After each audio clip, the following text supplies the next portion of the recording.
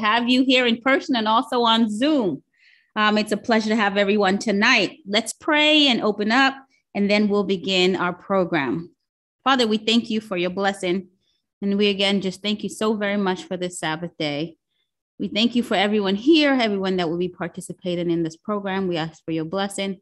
And we ask, dear Lord, that we may leave with new knowledge and understanding, and that we may go forth and spread those um, knowledge that we um, um, gained today. Bless those who are on their way, and we ask for your protection while we're here and your journey's mercies as we leave today. We give thanks and praise that you may bless each panelist, oh God, the interviewer, oh God, and we just ask, dear God, that you bless us all. We give praise always in the name of Jesus Christ, our Lord and Savior. Amen. Amen. Amen. Praise the Lord. Our scripture reading, we don't want to spend too long on this preliminary because we do have a group of panelists that will be um, helping us out today. Um, so our scripture reading will be read um, Exodus 4, verse 2 by Brother Jay Johns. Good afternoon. So the so the Lord said to him, "What is that you in your hand?" He said, "A rod." May the word of God be blessed. All right. Thank you. Praise the Lord. Praise the Lord. Thank you, brother Jay, for that reading. All right. At this time, we're going to go right into our AY creeds. That will be our pledge, or we're going to start out with our, our mission, and we're going to read together. Those online, if you can see it, please read. Muted. Thank you. Um, so together here, we'll read that. Our mission is the salvation of the youth through Jesus Christ.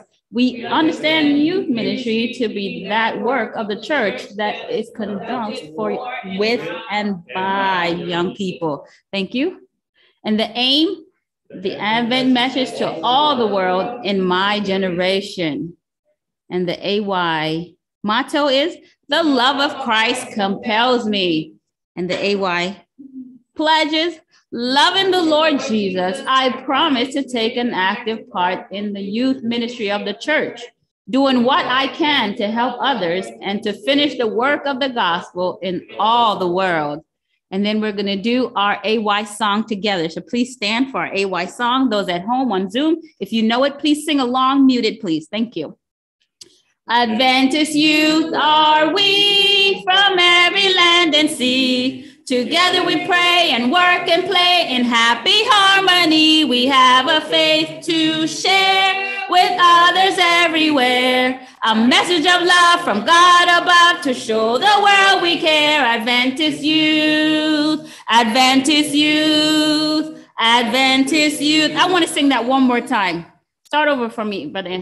Adventist youth are we from every land and sea. Together we pray and work and play in happy harmony. We have a faith to share with others everywhere. A message of love from God above to show the world we care. Adventist youth, Adventist youth, Adventist youth. Praise God, you may be seated. Thank you. Mm-hmm. Okay, our topic, our topic for today is what is in your hand, as Brother Jay read, what is in your hand? And God is asking each and every one of us, those online and here in person, what is in your hand?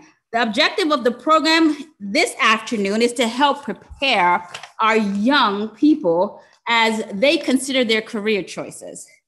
Um, it is geared towards helping them understand how their profession slash jobs um, can be used as a ministry opportunity. It is in an opportunity for our panelists to share how our youth can maintain their faith no matter no matter where they're serving. And so we'll have a list of panelists that will be coming up soon and those we will have the list of panelists online as well on zoom.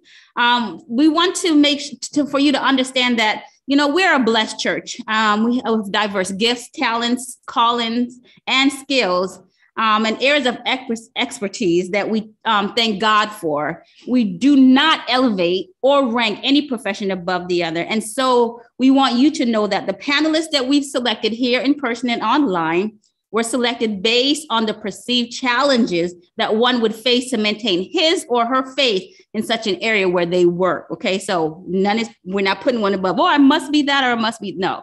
We just want you to know that with their faith in God, they are able to um, again overcome challenges even in the workplace. Um, at this time, Dorothea, uh, Sister Dorothea will um, give us a hymn of reflection from hymn number 359. Whenever you're ready, Sister Dorothea, we're ready. It's Sister Dorcas, um, Sister Rain. Oh, why did I say Dorothea? Sister Dorcas, I'm so sorry. Thank you, Sister.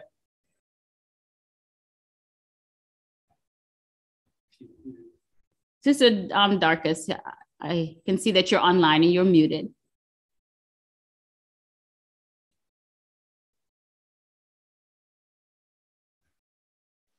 Um, I'm sorry for that. Um, our hymn is 359.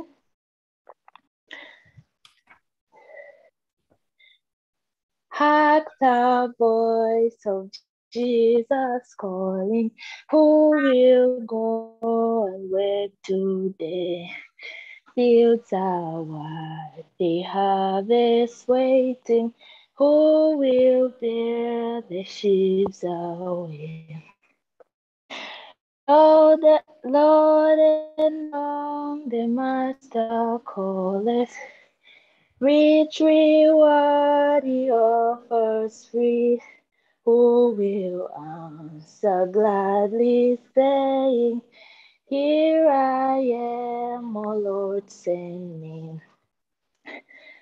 Um, okay. Okay, um, if you cannot cross the ocean and the hidden lands explore, you can find the heaven nearer. You can help them at your door. If you can not speak like angels, if you cannot preach like Paul, you can tell the love of Jesus. You can say he died for all. If you cannot be the watchman standing high on Zion's wall, pointing out the path to heaven, offering life and peace to all. With your prayers and and your bounties, you can do what have demand. You can be like faithful Aaron, holding up the prophet's hands. While the souls of men are dying, and the master calls for you. Let none hear you idly saying, There's nothing that I can do. Glad Gladly take the task he gives you. Let his word your pleasure be. Answer quickly when he calleth. Here I am, O Lord, send me. All right, thank you. Thank you, Sister Dorcas. Okay, I'm going to call the panelists um, forward. Um, in person, we do have today Sister Josephine Joseph, Amen. and she is a social worker that specializes in homeless, mental health disorder, and family issues. Sister Josephine, you can take a seat. In person, we also have brother, I mean, Elder Orrin Crawford, the dietitian working with the dialysis patient. You can take your seat, please. And then our last person in person would be Elder Ray Daniel, a criminal lawyer. All right, please take your seat here.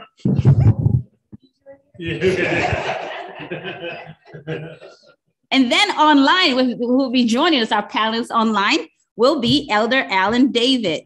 And he is a chemical engineer professor at Auburn University, and he'll be joining us online. Just give us a wave. All right.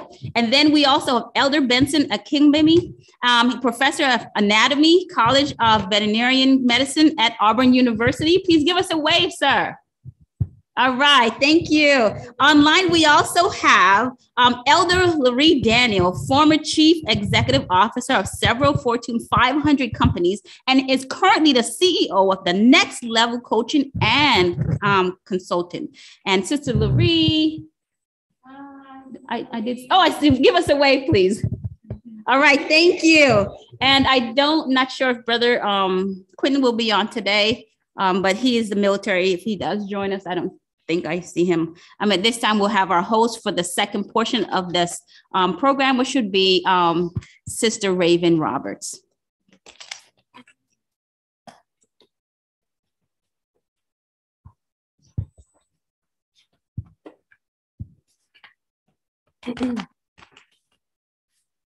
All right. Um, let's start off with a quick prayer. Um, Heavenly Father, Lord, we thank you for this time that we can gather together and have our youth program. Um, Lord, I ask that you would orchestrate and inspire this um, this presentation that we are having and show us and other youth how they can be used in their career choices to glorify your name and to um, bring others closer to Jesus. And your precious name, I pray. Amen. Amen. Okay. So I would like to start off by asking each one of you guys to, um, I know that um, Sister Rain did introduce you in your career field or profession, but we would also like to know why you chose the career that you chose. Um, how about let's start with Elder Ray? Well, um, I'm an assistant district attorney for the Chattahoochee Judicial Circuit.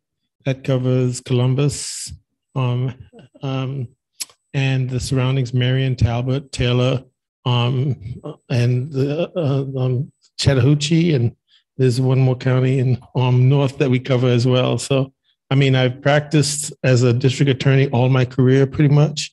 I think this is year number 34.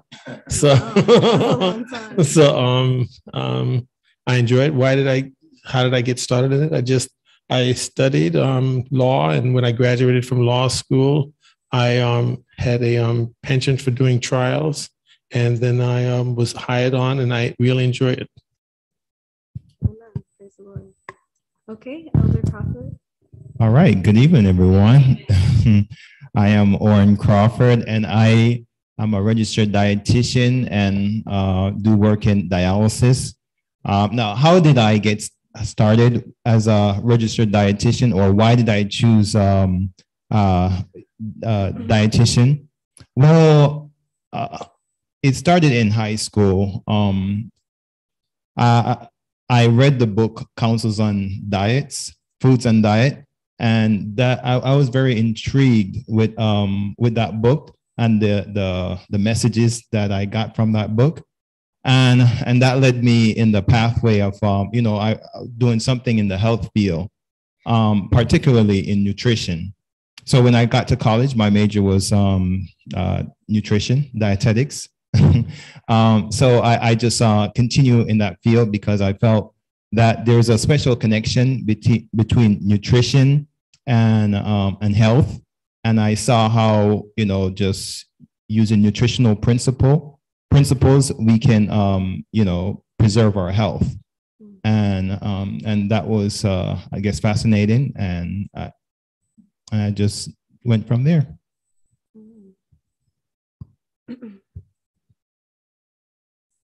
Hello. Okay. All right. Thank you for that question, Ms. Uh, Raven. Uh, how did I get into the field of social work? Um, as you all know, I come from Sudan. And when I was young, I had interest in people. I just love to help. And I thought, wow, what way could I help someone? And because I saw that uh, back home we uh, the we needed a lot of help. So from even when I was young, I wanted to get into a field where I can be of support to people, and so I ended up going to Asia and I studied social work. And my initial uh, idea was to return back to Sudan so that I can make an impact. Mm. However, I was not able to go because of the situation that was happening in Sudan for a long time, for those of you who might not know. So I ended up in America, but I still have that desire to work with the people. And so it wasn't, after all, uh, a place where, you know, I could lend my support only in Africa.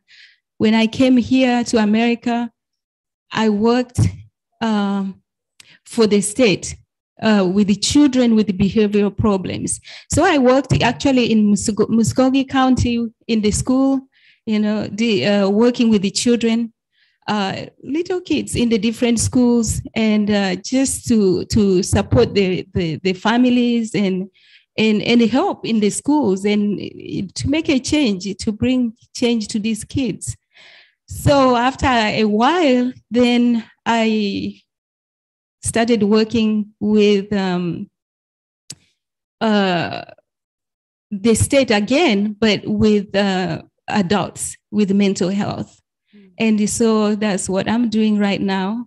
And uh, I still desire, my, de- my desire is to, if everything goes well, I really want to go back home and, and help my people.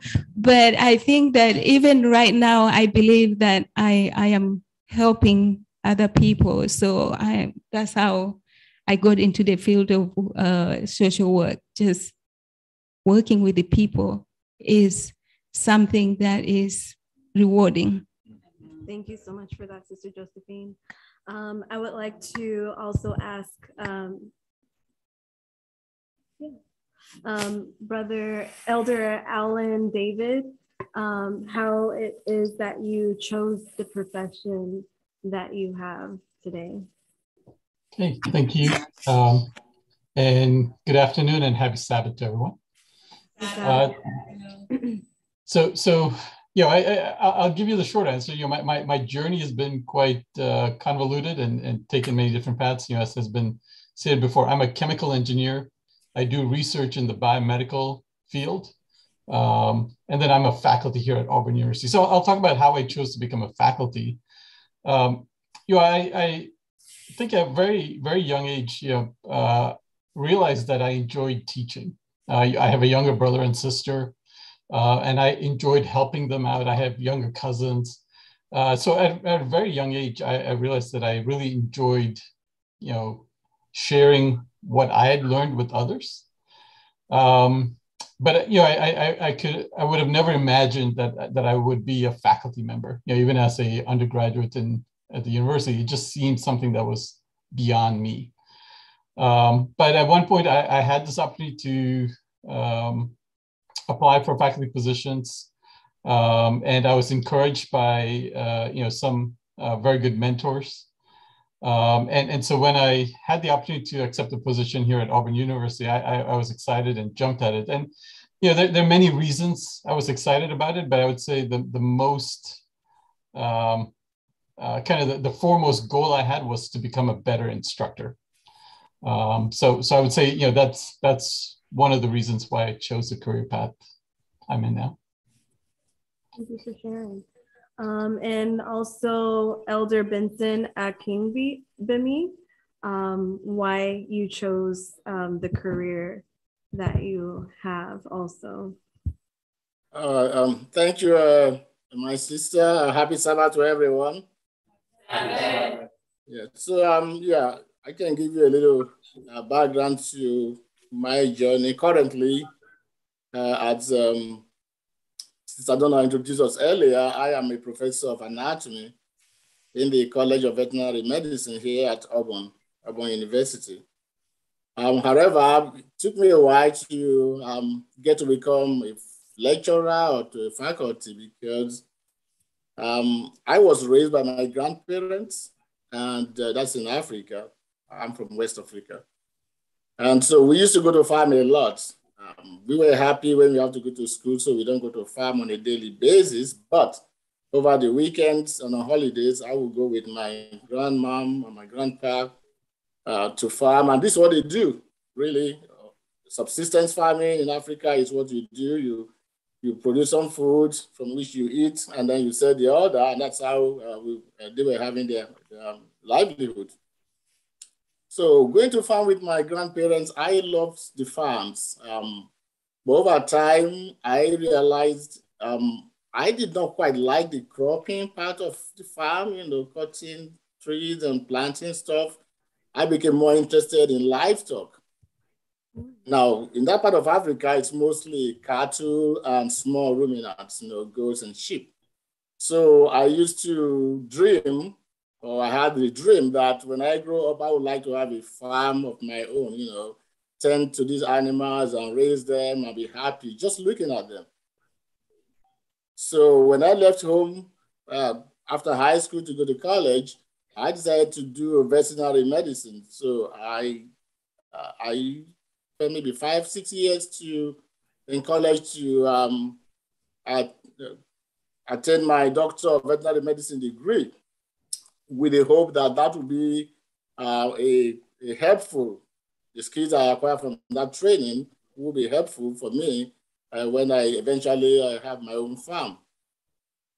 But while in college, I came to like the lecturers. You know, uh, my I'm from Nigeria, and Nigeria was still very good in those days when I was growing up. The lecturers and professors were well taken care of, not necessarily rich, but you know, everything was dandy. You know, they had their offices, they had their own individual staff. So I said, yeah, I think I would like to have this kind of a life. Maybe I can become um, um, a lecturer and then become a professor. So I started now thinking of, okay, I'm going to get my DVM. And after that, I would train further to become a lecturer. So and that's what I did. So after I got the DVM, I went back to school, got my master's, then I got my PhD, and I started teaching. Uh, I taught for a while in, uh, in Nigeria before uh, myself with my family. My wife is just behind me here. You can see her, I believe. Um, so we um, we we left Nigeria for a period. We went to Zimbabwe. so I was a teacher in Zimbabwe for some time, and uh, then came back came to the United States, where I was lucky enough to also, um, after some training too, uh, got a job as um, as an assistant professor uh, at Auburn, and then later you know rise rose through the ranks to become a, a professor of anatomy. So that was my uh, my little journey. Thank you so much for sharing, Elder Benson. Um, and also, Elder Larry, um, how did you choose your profession? Hello, and happy Sabbath to everyone. Happy Sabbath. Good to see my church family via video. Um, you know, I have always had, as long as I can remember, an interest in uh, human behavior and understanding sort of why we do what we do. And at the same time, I was raised in an environment of business men and women. My mom um, was a business person. My dad owned several grocery stores. They owned African import stores. And I was fortunate enough to find a major in college that combined psychology as well as business. And so by training, I'm a master's level organizational psychologist. And with that, I didn't know exactly when I graduated where I wanted to go. But I would say that I kind of, my, my actual job in the insurance industry sort of found me. But it, it found me doing what I love to do, and that is helping people and helping businesses become better. And so that's a short story of how I got into that profession. Amen. Okay, and also, um, what type, what kind of people do you guys encounter on a daily basis, and what desire, um, what good do you desire for the people that you encounter?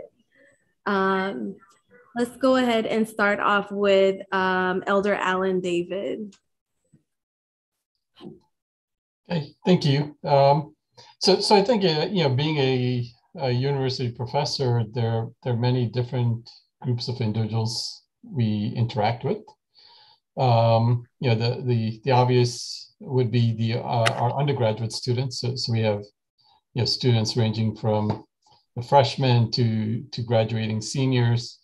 Um, I deal with graduate students because we do have a research component. We deal with other faculty and administrators and collaborators at other institutes. We deal, deal with people at uh, different agencies that we get funding from. So, so I would say we um, we encounter and interact with a broad cross section of individuals. Um, you know, uh, both in terms of age, uh, you know, profession, um, and, and and so it, it uh, you know it, it's a very diverse uh, interaction that we have. Um, what desire good do I desire for them? Um, you know, my, my goal is to uh, through all my interactions uh, is to be a positive influence on on other people. Um, you know, I, I try to um, make sure that um, you know I'm I'm helping others, whether it's you know our, our undergraduate students and, and just learning the content of the course. You know, I, I teach chemical engineering, um, and and and so some of the more uh, difficult uh, courses, um, you know, in, in the curriculum, um, and and so just you know. Um, uh, trying to convey to the students that you know uh, although we, we, they struggle through the course, we, we essentially torture them uh, by, by the course content. Uh, but but yeah, just getting across that it's for their good. You know that that this is an investment in their future, and they, you know, life has a way of um, you know balancing things out, and you get out of life often what you put in, um, and uh, you know just just encouraging them to to uh, do their very best um, even when even when the results don't uh, don't seem obvious at at at, uh, at the moment. You often we work hard and and it seems like we're getting nowhere, but but sometimes you have to work hard for some time before you've built up the foundation to advance. Um, so so I, I, would say yeah I, I, could, I could go on, but but I'll, I'll let the other panelists speak. Amen. Uh, what you said, it reminded me a lot of the Christian experience, like how we have to persevere through, even though we may not re- see the results of what we're doing at the moment, but just seeing the end goal. Like we have to work toward what the end objective is. Um, I would like to hear from Elder Larry what um, what kind of people do you daily encounter and what is the good that you desire of them? Okay so so now I, I talked a little bit about being in the insurance industry and now i am an entrepreneur of my own company of consulting and coaching. And i would say in both of those industries my own businesses as well as the insurance industry i encountered people that had problems that needed to be solved and that is very broad. The problems were very different, but in some, they had problems that they needed resolutions for. And my role was to help facilitate those resolutions. And the good that I desired for them, um, one is to understand that often they have the knowledge within themselves to solve the problem and also in i have the opportunity in both those areas to um, actually pray with people even in the uh, fortune 200 companies that i've had. And so there were times that at, i would need to uh, take the opportunity to even direct them in the business world to seek jesus for some answers to their problems. And so i would say that has been the um, the consistent thread through both of my career paths. Amen. And um, Elder Benson uh, Kingbemi, um, I would like to also ask you the same question. Yeah, thank you, um, dear sister. Yeah, it's, it's a very, uh, being a teacher, lecturer, professor, you know, we deal with students all the time. And I really, and I tell my wife this, this is one of the best things I could do in my life because every year we get to see new people. So I said, I can't imagine working in a place where I see the same people all my career. I wouldn't enjoy that. So um, being a teacher gives me great joy because I am so excited right now we are preparing for um, students to come in in August and we have meetings and I say, oh yeah, you see, I'm excited because we're going to have a new, a new group of students that we're going to have to uh, nurture. So that's one thing that um, really um, is great about um, being a teacher. Um, in terms of the way we the way we want to see them, it's both ways. Um, I will first of all say, what have I gained or what insights have I gained from uh, teaching students from year to year? Because of the age, as Brother Alan said, you know, they're young people. So when they come and you see how much pressure they, they are subjected to, I see all kinds of um, strategies by these students. And I learn a lot from that, you know.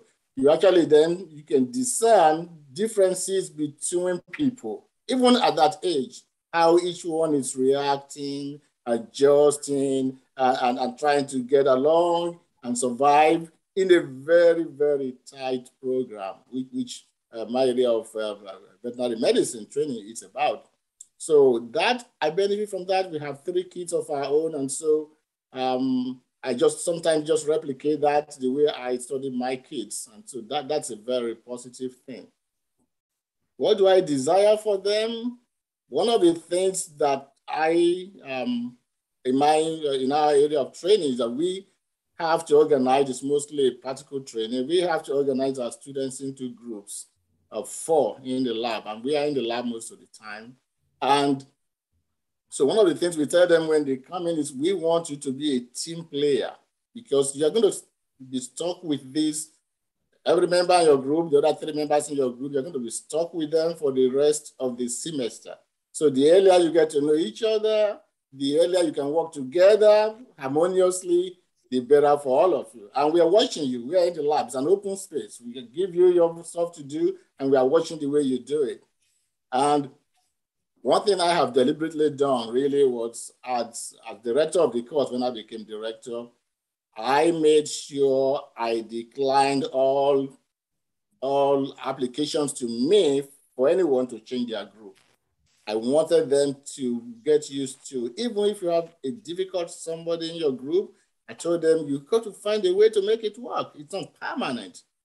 You just have to work through 16 weeks. So um, I said, I'm not going to change anybody because before then, we will allow if you don't like your group or people are feuding a little bit, we say, okay, we can change the group. So since I became director, because I have, I have not done that, and I tell them, I just want you to find a way to get along. So that's one thing I desire in young people because you don't know where you're going to find yourself. I just mentioned to you earlier on, We've been all over the whole place, even our country. We traveled to the northern part, we went to Southern Africa. Before we came here, we were in New York City. Then we landed in Alabama, which is even so much contrasting to New York City. So uh, for young people, I really like for them to be able to adjust as much as they can to whatever situation they have, especially when you know it's never going to be a permanent thing. Um, so that was that. Has, those have been my insights. Thank you. Thank you for sharing. And um, Elder Ray, also, what kind of people do you encounter and what good do you desire for them? Well, um, um, I really encounter people at the most um, tragic part of their lives. I'm, like I said, I'm a, assistant district attorney, and I work primarily. My job has been in the major crimes division, and I handle um, um, murders and child molestations and um, all of the most serious crimes there are. And it's a bad situation for those people who are the victims and who are the um, defendants.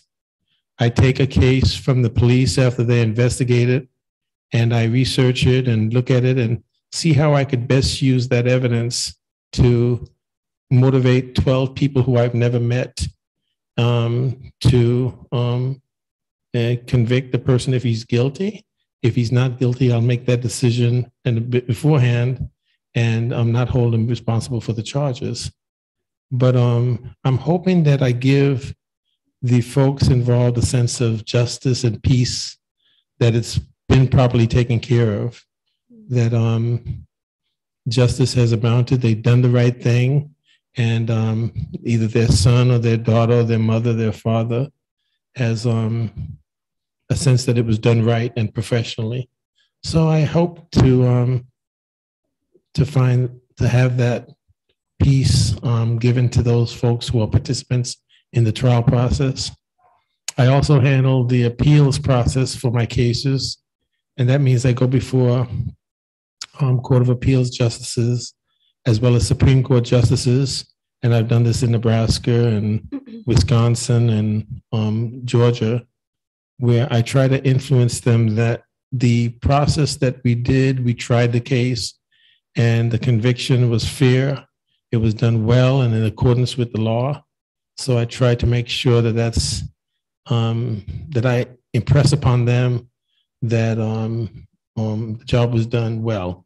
So I think that's I try to do those things, and um, that's what I do. Thank you so much for sharing. And Elder Oren. Uh, yes. So, as a renal dietitian, I also encountered encounter patients um, who are at a very, uh, I guess, low point in their life, um, health wise. Uh, these are patients that are on end, that are in end stage renal disease. Uh, so their kidney is no longer functional. Um, so when they come to dialysis, um, this is kind of like the um, you know, the kind of like the end of the road, really, as it relates to their kidney. And you know, if they don't get dialysis, um, their their their toxin is going to build up in their body, and they're going to die. Uh, and, and, so, uh, my role as a as a dietitian is to um, help them to help them to understand that um, diet also plays a, a, a, critical role in their in the preservation of their life. Um, because you know what they eat is going to add um, toxicity to their body. Um, and in between treatment if that if that toxin developed to a critical level they could actually die like for example if they're taking in uh, too much potassium right that can create a cardiac um, arrest and patients have um, been admitted to the hospital because they've um, overindulged in, let's say, orange juice or um, bananas or tomatoes or um, whatever is uh, high in potassium. So, you know, my, my job is really to, to guide them along the process and to help them to understand that this is a, um, a critical point. Um, and so, in terms of the, the type, uh, uh, the cross section of patients that I uh, that I encounter, um, you know, I, I a wide selection, but predominantly in this area, it's um, African American, um, and and and you know, hypertension and diabetes. Those are two um, main risk factors for being on end stage renal disease. So and, and and we understand that those are those two things are very pre prevalent in um, African American population. Um, so uh, I would say about 90%, 85% of um, the clinic population is um, is African American. Um, then then you have uh, you know Caucasian, Hispanics, um, Asian too.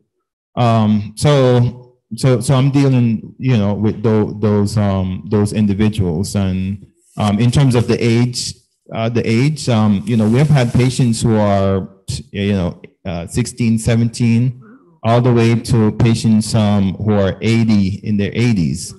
And, uh, and, uh, and, you know, and, and in terms of um, their being on dialysis, uh, you know, they, they can be on dialysis. Some, we've had patients who, who are on dialysis for 20 years. Um, and, and then, you know, some, some people are, you know, they, they on, on five or you know, within a few years after they're diagnosed, they die two years. So anywhere from, you know, maybe two, three years to 20 years, they're on dialysis. And of course, during that time, they can receive a, a transplant. Um, and that transplant gives them an opportunity to live a somewhat normal life. They still have to take med- medications. Um, and, and, and so uh, in terms of um, these uh, these individuals, uh, you know, um, what do I desire for for them? Um, foremost, uh, as the Bible say, you know, I wish that they were that they would prosper in health, um, you know, as their soul prospered. And that's um, two uh, tenant that I, I try to um, I try to encourage in each encounter, right? The the physical and the spiritual. Um, so you know, as I give them diet education or I help them with binders or vitamin D um, and, and, you know Sensipar and those medicines that are uh, somewhat diet related. Um, I'm, I'm, I'm also encouraging them to to look to the one who's um, able to give them spiritual help. Um, so you know, and so sometimes I'll pay, pray with my patients. Um, you know, just depending on where they are spiritually. Um, I'll pray with them and encourage them and let them understand that um, we serve a mighty God, a powerful God who's able to take them through every situation that they have and that they will encounter. Um, and that is a, a source of encouragement um, for them too. So, uh, you know, I just uh, continue, I, I just, uh, you know, just continue to encourage them in the Lord. And um, as I do the that education. Amen. and Sister Josephine also. Okay, so in my everyday work, I encounter people uh, in which the challenges of life have thrown them off balance. And so they see no way out. Mentally, they feel like they have come to the end of their rope and they are ready to take their life because they, they just can't see the, any, any other way out. So, um, my job is to talk through the to, to them through the difficulties of life hoping that they will come back on track so that they can um, start life over again. And it really doesn't matter who it is but it's from the highest to to the lowest ladder that it you know mental health does not segregate people. So my job is to to talk to them and and uh, and and and offer them solutions as to how they can deal with the life's problem. But at, at the same time there are situations where you there you can even talk to them. So they needed a little bit uh, a little advanced um, care and in this case, what we do is uh, send them to either to the hospital or send them to Atlanta, where they can mentally be stabilized before they can come back and, and get, get on track. So that is what what I do. And um, when they start to get on track, it's it's very rewarding. And uh, like Brother Oren say, as a Christian, sometimes they are receptive in when you you offer the other uh, way out. You know, God, the author of everything, is able. I think people need to realize that apart from the things that we have on this planet Earth, we need God and some are receptive. And when you see someone uh, in a critical situation, uh, realizing that there is more to life than me taking my life, it, it's very rewarding. Thank you so much for sharing that, Sister Josephine. Um, also, um, have you ever found that your career conflicted with your Christian beliefs? And if so, did you feel that God did not want you there in that career, that maybe you should have chose something else, or maybe, you know, did you feel confused about where you were at that time? Um, I would like to start with Elder Ray. Oh, really?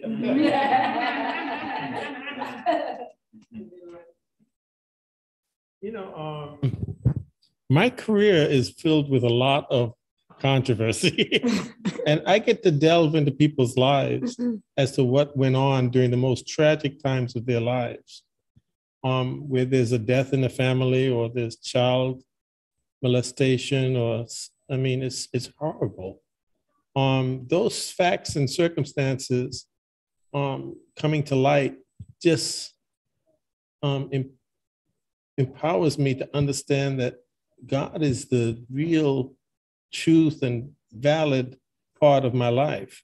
And I can't take it for granted. Otherwise, I would be inundated with this um, the, the ways of this world.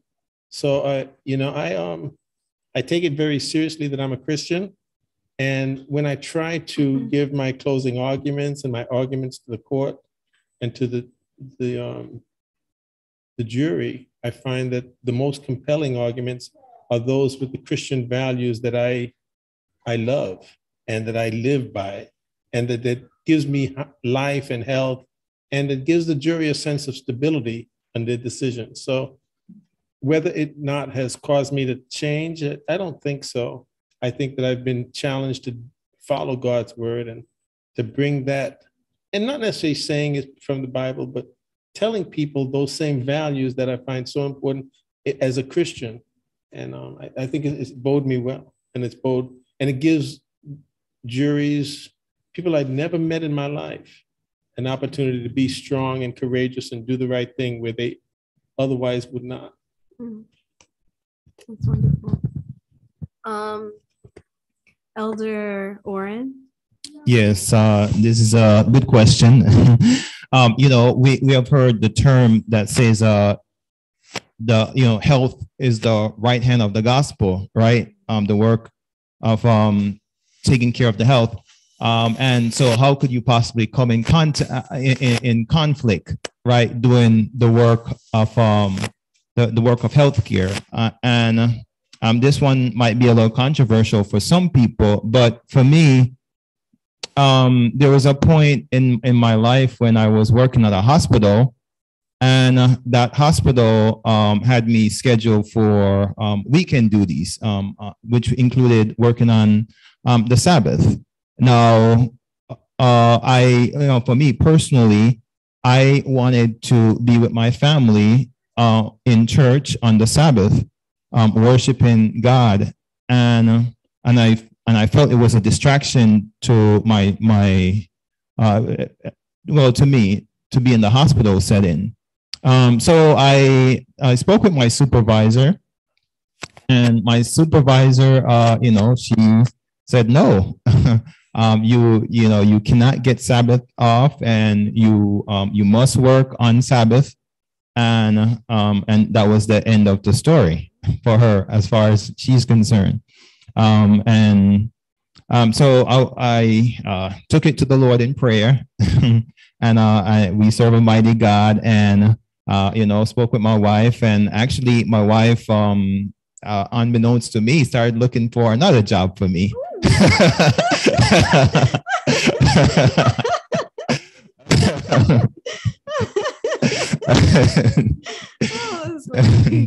so so um she um saw this one position um in dialysis uh which doesn't well she didn't know that it didn't include weekend but um you know I looked into it applied uh got an interview um and I mean typically this this you know interviews uh you know last maybe 15 minutes or so but this uh, interview lasted like almost like an hour um the my boss she just um kept on talking and talking and and and, and um and, and so eventually to make a long story short you know i was offered the position. And uh, you know come to find out that this was a monday to friday position. Weekends would be off.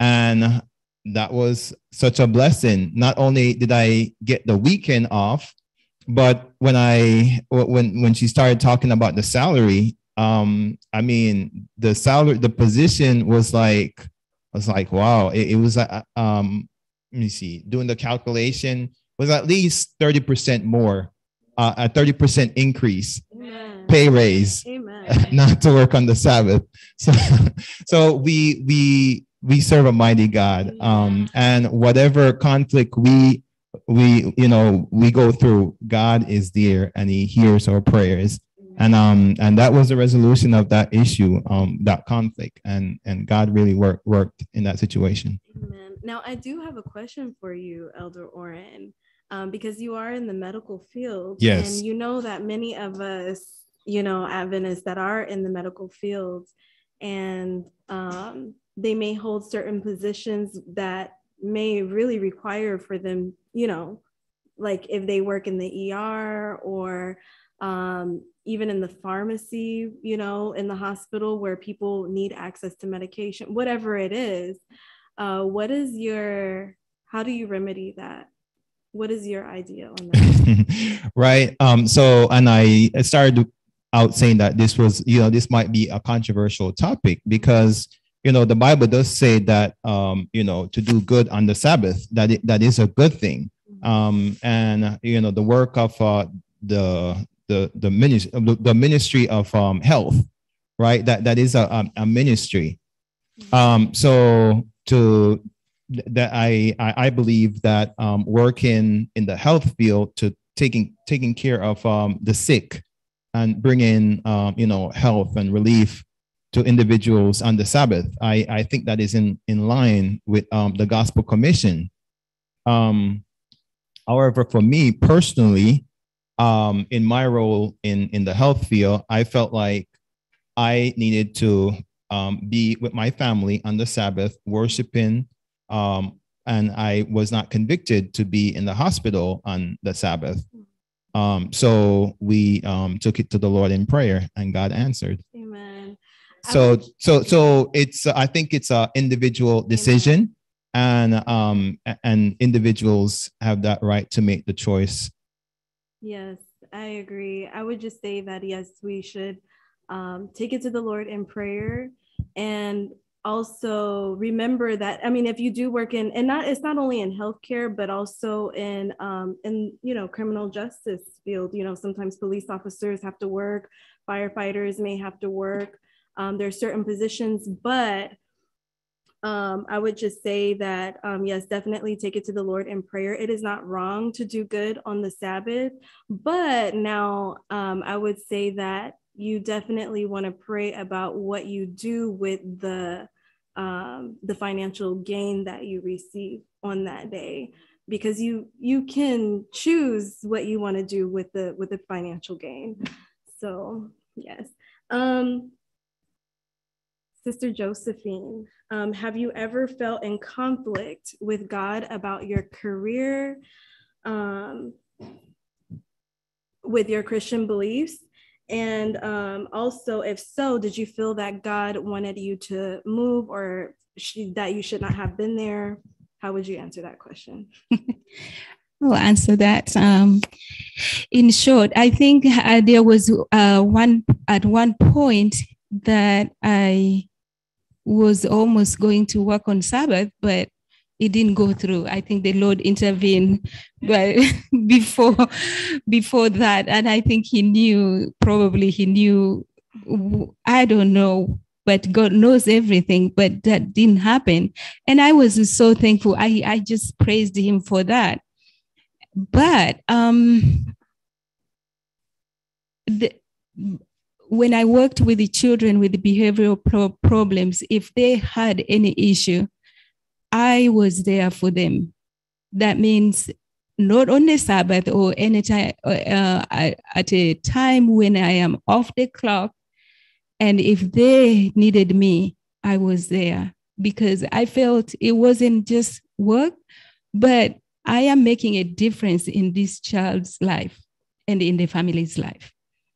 But um, I'm thankful to say that um, our office uh, operates Monday through Friday. Yes. And so I am off on, on, on the weekend, and I, I thank God for that. And also, um, as I mentioned earlier, um, I love to work with people, and uh, I interact with people. I hear people's problems i talk to, i listen and i if there is any solution to to what they are they are encountering I offer that. And so it has never been a problem that I have had any conflict that this is not the right way I should have gone. So I'm I'm happy. I thank God. Thank God. Um, Elder Alan David, have you ever felt in conflict? Uh, so, uh, being a, a professor at a public institute, um, uh, so so there are uh, often conflicts, and and you know as others have talked about, uh, often, you know, for me the conflict has come with uh, regards to Sabbath. Um, you know, and, and, so I'll, I'll, share one example. Um, you know, so so I work with graduate students, and, and so I mentor graduate students for some of them four or five years. Um, you know, work with them closely, and then at the end of the graduation, you know, once they've earned their PhD, then typically the advisor would put the student at the graduation ceremony, where all our ceremonies are on Sabbaths. Um, so so for me that that was a yeah and you know I, I could justify that you know what this is not for myself. I'm doing it this for my students and uh, it's not for myself. Um, but i decided early on you know the, the problem was you know if, if i did that then uh, you know my my other colleagues would also start to ask me to do other things and so very early on i said you know what and, and I, i'm upfront for my students i say you know what I, i'm uh, you know, would love to be there to to honor you and and and be a part of this uh, celebration. But for these reasons, I can't be there, and and you know, I, I hope you understand. Um, and and and uh, you know, I, I, again, I tell both my students and colleagues that if there was an emergency, I'll, I'd be there. You know, if something happens in the lab, you know, call me. I'll I'll be there. If if if you're in trouble, call me. It's uh, uh, but but I try to kind of have as clean a break from work as possible because then I would I, I want to avoid being called into other things. Um, and, and so just I, I, think taking that firm stand up front, um, you know, um, uh, I, I, find that uh, my colleagues and, and, students respect that. And so often, uh, you know, they, they make plans to accommodate the fact that I won't be there on Sabbath. And, and, and they, you know, or if they're thinking about doing something, then they say, well, you know, Alan can't be here on, on Saturday, so let's do it this other day. Um, so, so, so I think, you know, and, and often I think about uh, the song Dare to be a Daniel. Um, and, and I think it, if we do stand on our, on our, on our principles, that, then uh, people respect it. And, uh, um, yeah so so so so I'll, I'll leave it with that yeah so so that would be one one instance where, where there's a conflict well i'm glad that you said that because um, i think so many times um, sometimes especially when we first come into a career we're so eager to start working and it's almost like it's very easy to want to agree to everything or anything because you want to work, you know.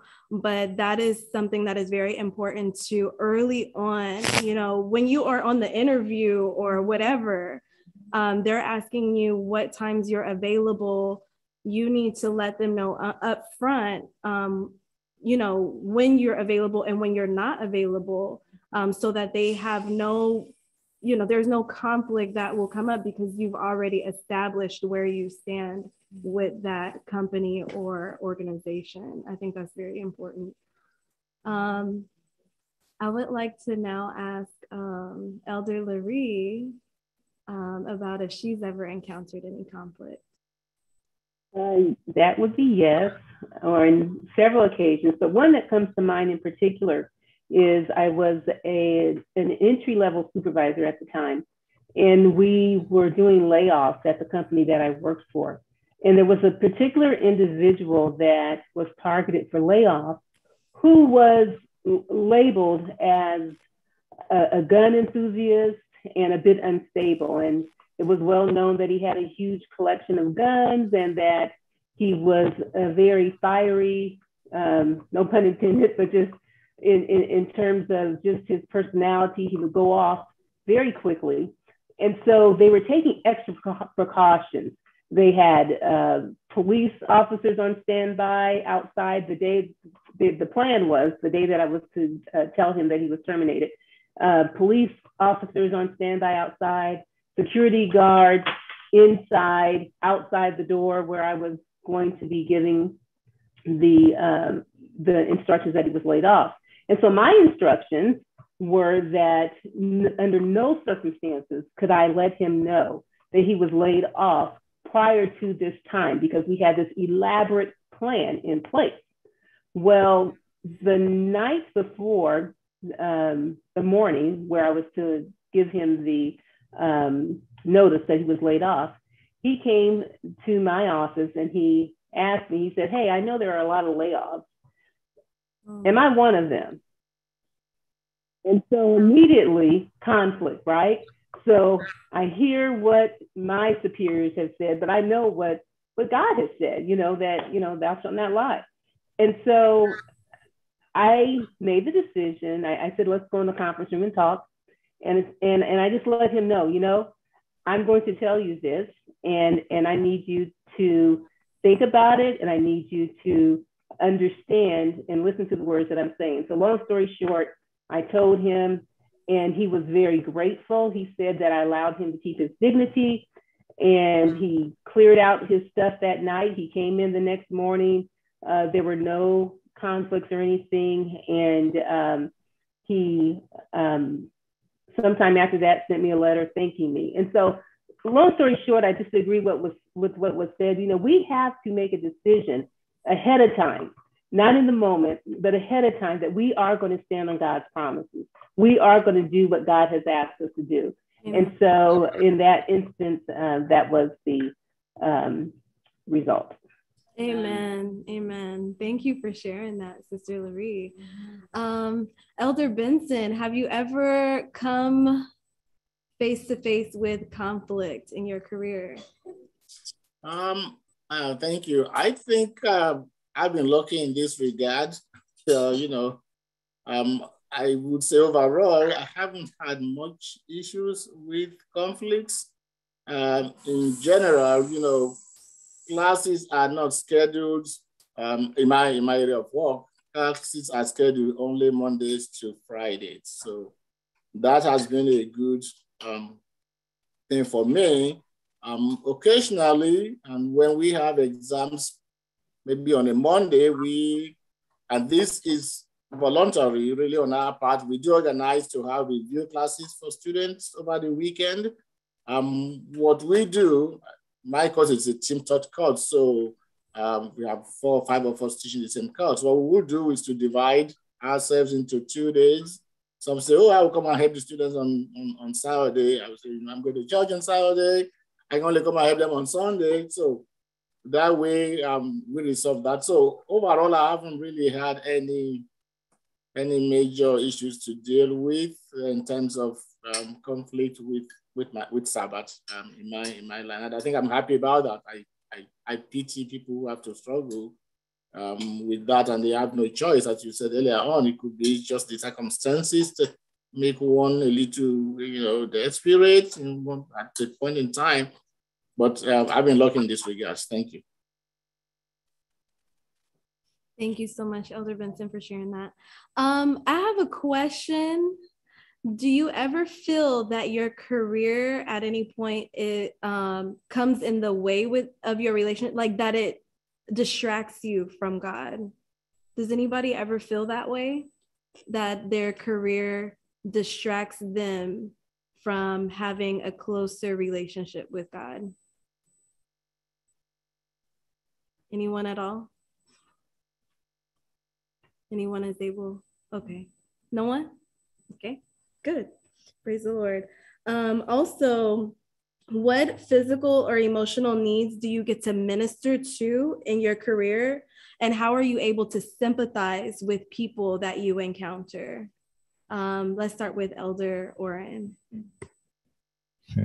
Hey, start with the easiest one first, right? um, so, working in the healthcare um, uh, industry, um, you know, so you're ministering to their, uh, mostly to their physical need, um, uh, primarily. Uh, there are other discipline that minister to their um, emotional or mental um, need. But um, for me, I'm ministering mostly to their physical need. Um, you know, the need to uh, maintain or preserve life. And in terms of, uh, and then, so how do I transition from, you know, just uh, ministering to the physical, from just the physical to, to the spiritual? Um, and you know, like I said, it's it's always just based on where they are. Um, you know, I'll I'll kind of like throw out like uh, you know, God bless you, and um, pray that you have a blessed day. Those kind of words, and then we'll see where the what the response is. And then if the response is um, yes, you too, oh you you're, and then you know you you're a believer, then we have a, a springboard to to um to start uh, and to explore and to you know um, and to inspire them spiritually and to you know um, so uh, in in the past you know um, there was a, a, patient here that I even in, in, invite to church and I he gave his testimony um, about how you know God really helped him. You know he was really down. The doctors were saying that he was about to die.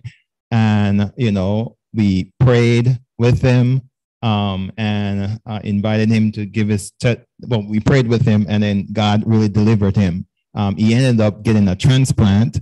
Um, and you know he's uh, he, he has done better since then um, and you know he came here and he gave his testimony. Um, and it was such a blessing. So you know when we're dealing with ministering to their physical health it's um it it, it, you know it, it lends it, it, it naturally lends itself to um you know incorporate god and um and and helping people to see where true healing comes from. Amen. Uh, elder ray are you um, able to what um, emotional or physical needs that you minister to in your career and how are you able to sympathize with well, I, I mean i um I really seek to touch their moral, their moral balance in life, because um, so many of these lives are drug infested, um, violence infested, just horrible, horrible situation that they find themselves in, and it's through a cascading. Whether the parents aren't around, whether the parents didn't know what they were doing, whether the parents abused them, whether they living on their own. I mean, there's so many moral choices that they've made that were bad for them. And um, I mean, victims alike. And I just feel like to give them the sight of another way of life is uh, my benefit. To give them, to let them know that there's another another choice they could make, that they don't have to follow this script for them because so many of their brothers and sisters and mothers and fathers are in jail or dead mm-hmm. as a result of their decisions. So I, I, I really get to, you know, it, it's really compelling to me to see that they've changed their life around. They've either gone back to school, they've joined a church, they're taking better care of their children. And all these things are just so beneficial to me personally when I see that, that I've just mentioned these possibilities, mm-hmm. that you, there's another way. You don't have to do what your mother did or your father did or your brother did or your sister did. You could walk a different path. You just walk it, just try it. And so I, I get that benefit. Amen. Praise the Lord. Thank you for sharing that. Um, Elder Benson, um, what physical or emotional needs do you get to minister to in your career and how are you able to sympathize with those that you encounter yeah that's a very um, very good question um, here in the vet school where i teach mental awareness is a big issue and that was there even before the pandemic simply because the curriculum is so tight we keep students in class from um, 8 o'clock to 5 every day, Monday to Friday, upon all the quizzes and examinations they have to contend with. So we had um, a long-standing approach to uh, maintaining mental wellness, and because we do not, the university is not able to um, provide counselors, you know, in large numbers. The uh, our college, what they have done is to uh, invite faculty who would love to receive some kind of training in terms of counseling students to be involved in special programs where if students have issues that are not too big, you know what I mean, big, that you don't have to really say a clinical psychologist, they can come to talk to us. And um, now the limitation is the university has so many regulations where you can discuss, you know, um, cannot be too, how do I say that? That you cannot uh, bring issues of religion, you know what I mean, to students, but um, one way I've been able to, you know, bring some some um, comfort to students who either struggling to get adjusted quickly or are struggling with their classwork is to engage them in a way that I believe using my Christian uh, virtues like, oh, I understand this is so difficult for everybody. I know uh, this is the first time you are doing this, being in class every day of the week. The exams are too many, the quizzes are overbearing. So, uh, but you will get through this, you know. Uh, and so find a way to be compassionate.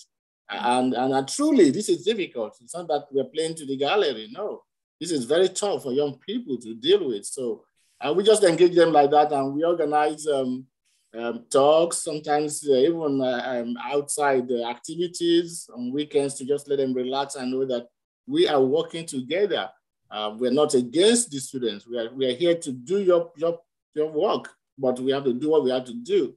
Um, so that's, that has been my approach, uh, truly. And um, once in a while, as what Orin said, I have always thrown in statements like, oh, I need to go to church this evening. Oh, oh, my pastor said something like this yesterday.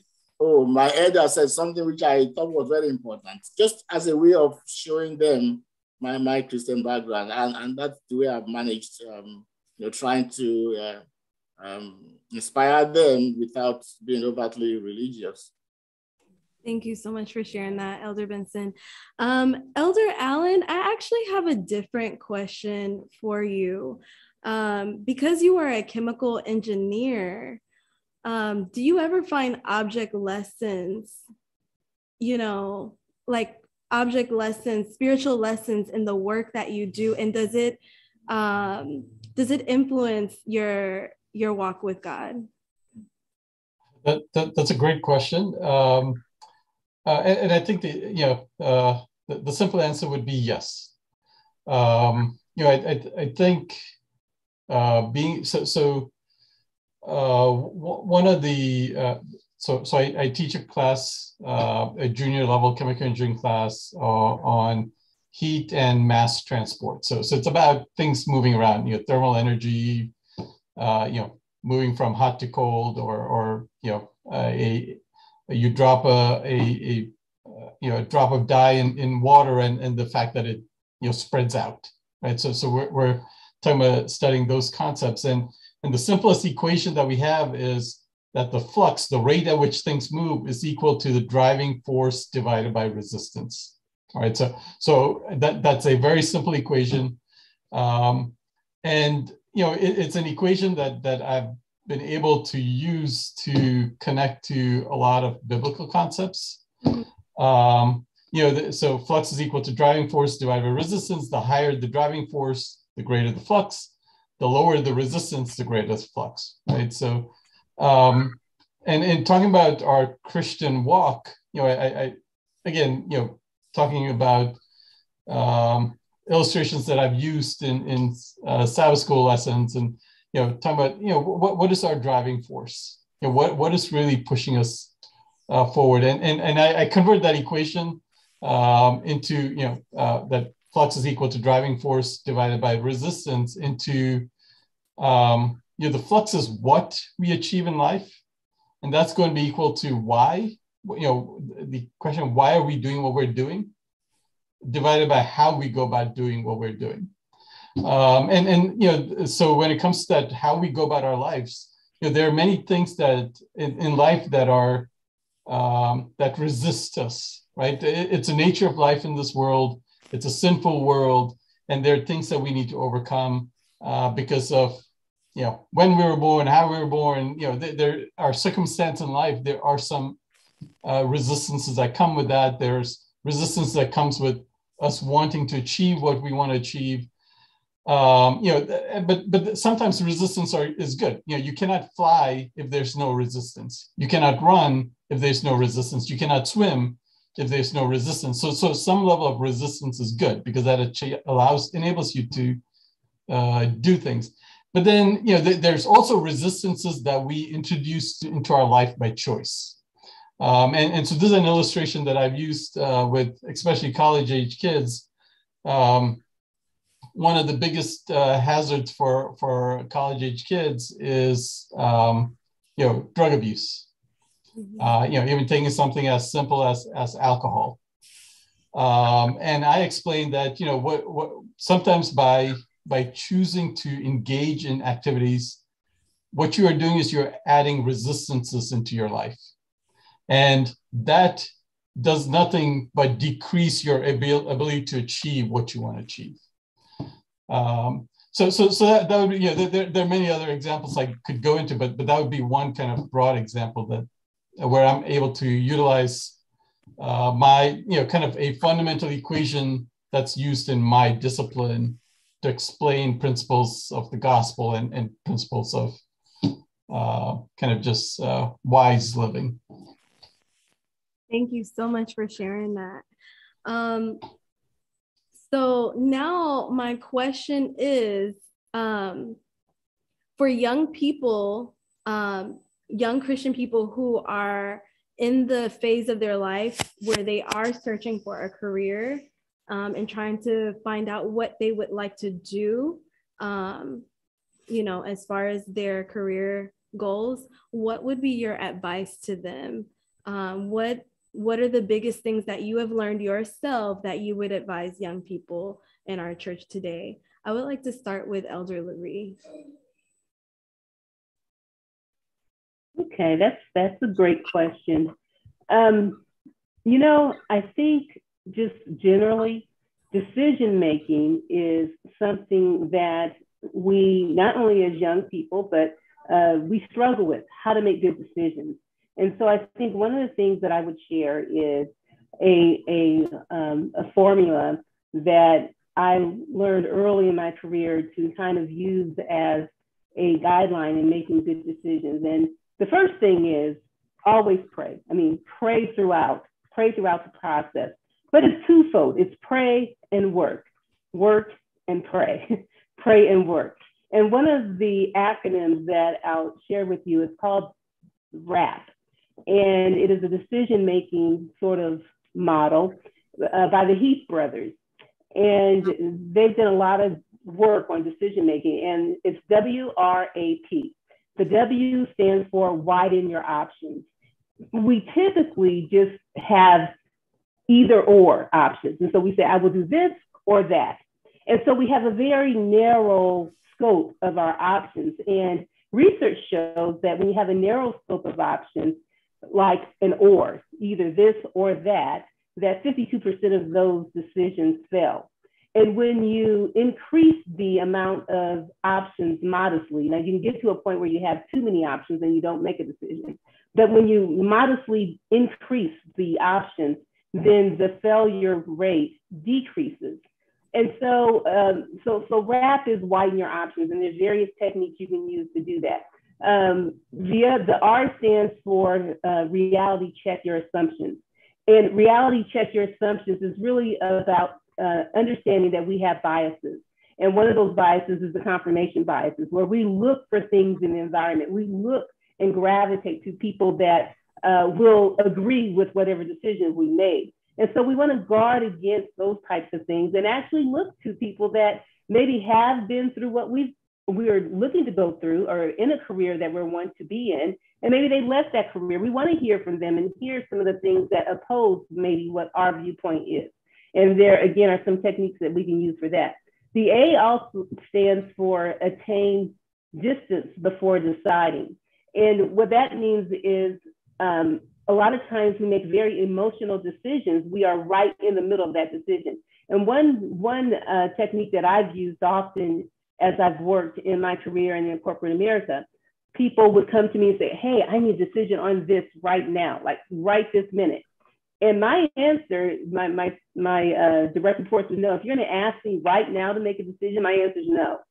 Because when you make an emotional decision, often you're making a decision that you may regret in the future. And so it says uh, the A stands for attain some distance before deciding. Think about what's going to happen 10 minutes from now. Think about what's going to happen 10 years from now and what those consequences and outcomes will look like as you're preparing to make that decision. And then finally, the P stands for prepare to be wrong.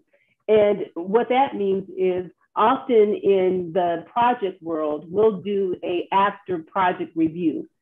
And so that means we sit down and we look at everything that went right with the project and everything that went wrong and could have been done better with the project.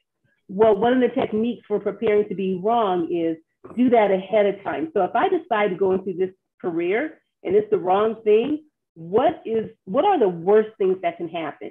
And then how can I mitigate those things from happening? Can I mitigate those things from happening? And so following a process like that for all your decision making, not just whether what career you're going to go into, but uh, whatever decisions may come up in life can be very useful. And again, it's W R A P, and that stands for WRAP. Praise the Lord. Thank you so much for sharing that, Sister Loree. Mm-hmm. Um, just for the sake of time, um, I am going, we're going to begin to wrap up. Um, but I would like to also say that just as a young person, well, for one, as we can see, um, with all these various um, career choices, there's always opportunity to serve God, uh, whether we are working for a secular organization or if we work for our own organizations, there's always opportunities. And um, we see that some careers bring us to people who are at their lowest and worst state, you know, in life. And God needs people there. But also, some careers, um, you know, like being a university professor, bring us to people who are, you know, they're just starting off in life and we are able to minister to people there as well. We're able to minister to people in every um, every part of their of their lives. Um, we are going to um, now have a special music um, by Sister Nadisha Parks. Is she on? Oh, yes. Mm-hmm.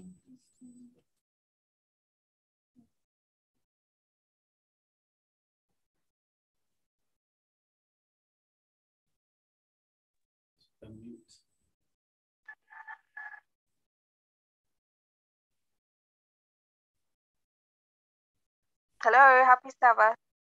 Happy Sabbath.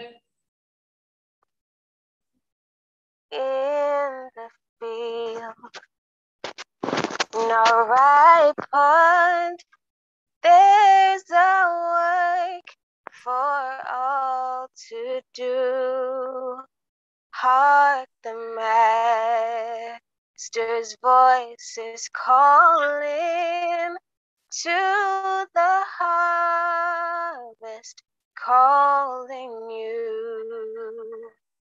Does the place you're called to labor seem so small and little known?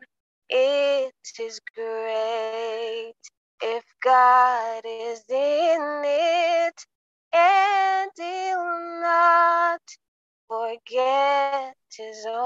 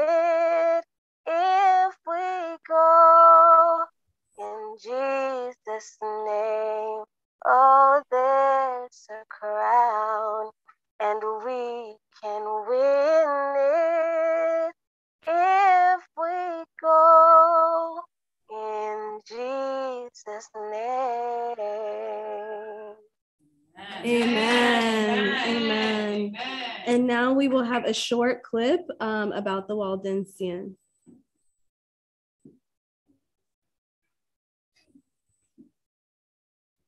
found someone that they thought was maybe interested in the gospel, they would take the Bible out of the stitches of their coat and share the truths of God's word with them.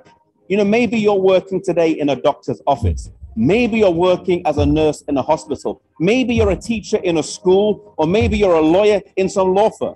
You are not there simply to collect a paycheck to pay the bills. You are there as a missionary. God has put you there for a specific purpose. There may be someone in your workplace that God knows only you can reach. As students as well, the first reason why they went to study was not to get the best degree, but it was to be a missionary in the great universities in Europe. You today may be a missionary in a great institution. You are not there just for academic excellence, you are there also to seek and find people that you can share the gospel with. And the other thing we learned from the Waldensians is how important the Bible was to them. If they would take just a few pages and put it in their coats and then share it with other people, how much more should we commit the Bible to memory? How much more should we commit the Bible to study? That we would know God's word and be able to share it wherever we are. They stand today, these Waldensians, as an inspiration to us. And may it inspire us for service, may it inspire us for study wherever we are. Amen. Amen. Um, let us go ahead and close with prayer. Um, Heavenly Father, Lord, I just want to thank you for this wonderful program that we were able to have. And Lord, we just ask that you would bless the young people, Lord. You have called them to serve you and you have called them to do your work, oh Lord, and help us to come to the understanding that no matter where we are, Lord, no matter what setting we are in, um, that we are able to be used by you as instruments of your righteousness, Lord, and we are able to bring people to Jesus. And Father, I just ask that you would, because you have created each and every single one of us, um, Lord, I ask that you would place your anointing on each and every single young person, Father. And I ask that you would help us to know what your purpose is for us, Lord, that we can serve you and that your name will be glorified on high. In Jesus' name I pray. Amen. Amen. Thank you, Amen. Amen. Amen. Amen. Thank you so much, mm-hmm. Carolyn. Thank you. And that's it. And that's it. That is it. Have a wonderful evening. And thank you, everyone who joined online. Thank you to our panelists. Bye. Thank you. Bye. Bye. Have a wonderful Sabbath. Thank you. Sabbath. Bye bye. Everybody.